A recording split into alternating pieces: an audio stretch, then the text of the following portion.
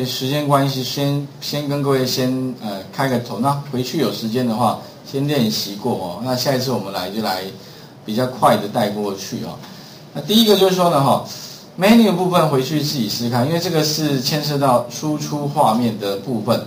那将来哈，如果说你们输出的时候呢，这边斜线 T 的话，代表什么呢？就是定位点的意思。那如果斜线 N 的话呢，代表什么呢？就是换行哦，换行。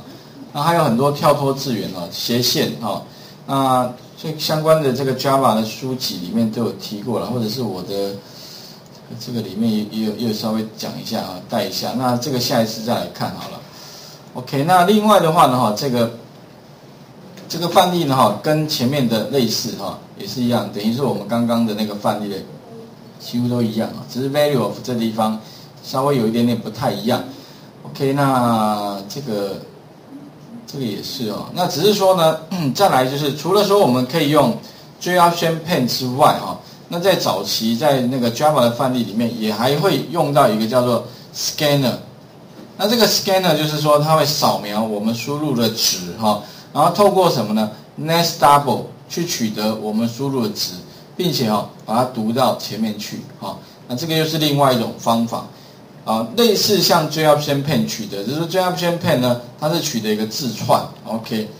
好，那另外还后面还有像 Switch Case 逻辑判断的部分的话，这个范例呢，我如果要判断是男生或女生的话，那怎么做？上面我可以用 if，后面用 Switch Case，Switch Case。那特别注意哈，Switch Case 哈，这边呢，你只能你不能用字串。所以这里为什么还要多一个判断，再给它来转换之后变成什么？转换为数字，而不能直接给它什么？给它字串。如果给字串的话呢，当然会有问题了。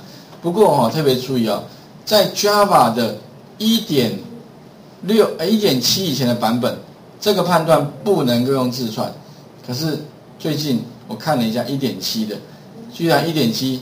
它这个后面呢，允许可以用字。